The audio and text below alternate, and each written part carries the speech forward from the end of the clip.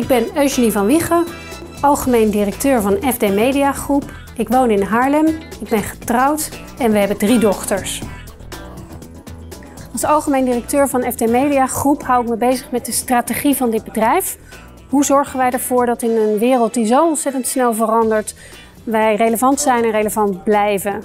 Daarnaast ben ik sinds zeven jaar commissaris bij Schibsted. Dat is een groot Noors mediabedrijf dat in 20 landen ter wereld zit. En ik hou toezicht bij KWF Kankerbestrijding. Ik vind het gaaf dat wij in een markt die naar beneden gaat groeien. Dat is gewoon uh, superleuk uh, om te zien. Dat, ja, daar ben ik wel trots op. En op het team wat we hier neer hebben gezet. Ik ben niet iemand die op een berg met een vlag gaat staan schreeuwen, joe, deze kant op. Nee, ik geloof heel erg in het uh, met een team voor elkaar krijgen. Open, direct, je kwetsbaar durven opstellen vind ik extreem belangrijk. Ik vind het heel belangrijk dat mensen fouten durven te maken. En misschien nog wel belangrijker dat ze het ook zeggen.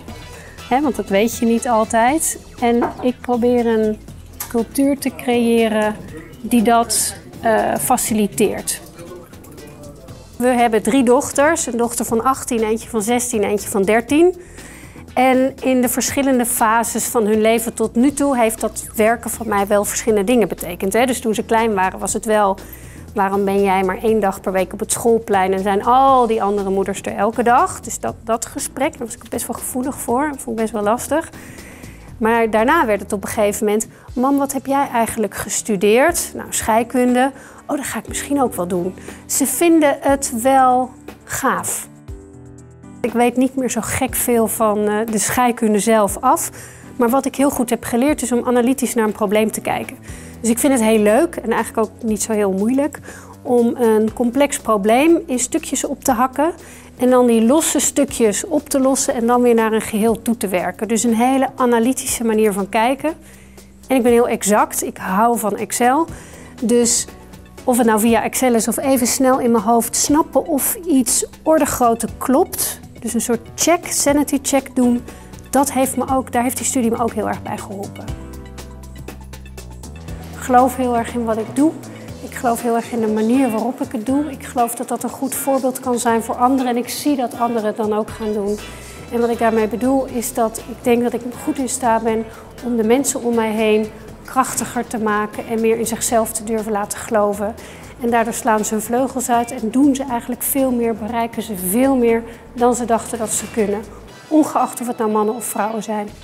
Ik heb heel erg geaarzeld om hier aan mee te doen, omdat ik niet geloof in van die ego-dingen. Het gaat helemaal niet om mij.